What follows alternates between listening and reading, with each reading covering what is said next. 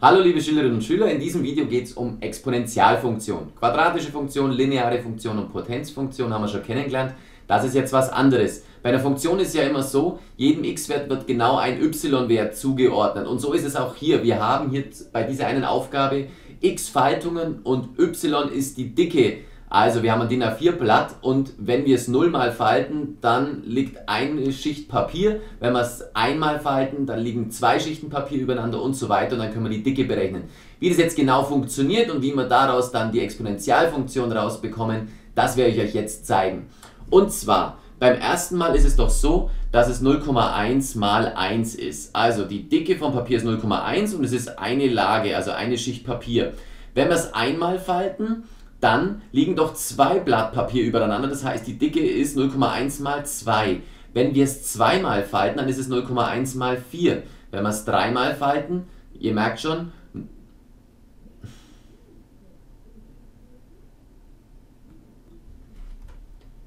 wenn wir es dreimal falten, dann sind es 0,1 mal 8. Und ihr merkt schon, es geht so weiter, 0,1 mal 16, 0,1 mal 32, 0,1 mal 64. Denn jedes Mal werde die Anzahl der Lagen verdoppelt. Ja? Hier wird es verdoppelt, dann werden diese vier Blatt Papier so gefaltet, dass es jetzt acht übereinander liegen und so weiter. Das heißt, wenn wir hieraus eine Funktion feststellen wollen, überall kommt ja ein 0,1 vor. Die Frage ist nur, wie stellen wir diesen 1, 2, 4, 8, 16, 32, 64 dar?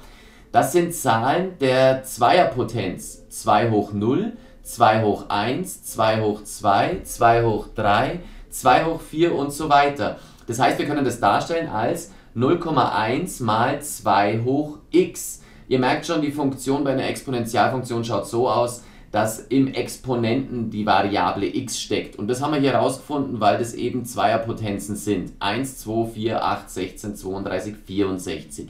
Bei der nächsten Aufgabe ist es ein bisschen anders. Also hier haben wir die Funktion quasi y ist gleich 0,1 mal 2 hoch x. Da haben wir 14.000 Einwohner und jedes Jahr werden es 10% weniger. 10% weniger, das heißt, es sind noch 90%. Mit dem Taschenrechner kann man das so ausrechnen, wenn man hier 14.000 mal 0,9 rechnet, dann erhalte ich die 90%, also das, was nach einem Jahr noch übrig ist, die 10% quasi in der Rechnung abgezogen gedanklich. Und wenn ich im nächsten Jahr wieder das machen will, muss ich wieder mal 0,9 rechnen. Das heißt, jedes Jahr wird mal 0,9 gerechnet, um auf die nächste Einwohnerzahl zu kommen. Bei 0 sind es also 14.000, bei einem Jahr sind es diese 12.600, nur noch 90%, im zweiten Jahr davon dann 90%, im dritten Jahr davon dann 90%. Wie mache ich das jetzt im vierten Jahr, wenn ich wieder eine komplett neue Rechnung beginnen will? Dann ist es doch so, dass ich 14.000 mal 0,9 rechne und das Ganze jetzt viermal, also hoch 4. Das ist das gleiche wie 0,9 mal 0,9 mal 0,9 mal 0,9, so wie wir es gerade hatten. Es bleibt übrig 9185,4. Und wenn ich das im fünften Jahr machen will, muss ich das Ganze 0,9 hoch 5 rechnen. Und dann kommen wir schon auf die Funktion, die lautet 14.000, also das, was wir am Anfang hatten, mal 0,9 hoch x. Also so oft quasi, wie, wie die Jahre voranschreiten. Die Funktion lautet hier 14.000 mal 0,9 hoch x. Auch hier eine Exponentialfunktion.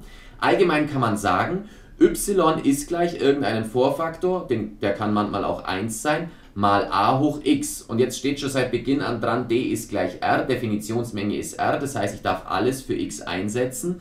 Nur ich darf nicht k gleich 0 setzen, weil dann kommt y ist gleich 0 raus, dann haben wir hier keine Exponentialfunktion. k nennt man den Anfangswert, das war quasi hier die 0,1 mm Dicke. Und hier waren es die Einwohner. Und a größer 0 bedeutet exponentielle Zunahme, das haben wir hier gehabt, hier wurde das Blatt immer dicker und a kleiner 0 bedeutet exponentielle Abnahme. Also hier das, was quasi in der Basis steht, das entscheidet, ob es zunimmt oder abnimmt. Was haben wir also heute gelernt? Heute haben wir gelernt, Exponentialfunktion heißt, dass die Variable im Exponenten steht. Ähm, bei der Potenzfunktion war das ja anders. Und dann unterscheidet man von einer exponentiellen Abnahme und einer exponentiellen Zunahme. Und wie man das Ganze dann grafisch veranschaulicht, das werden wir uns dann nächste Stunde anschauen. Tschüss!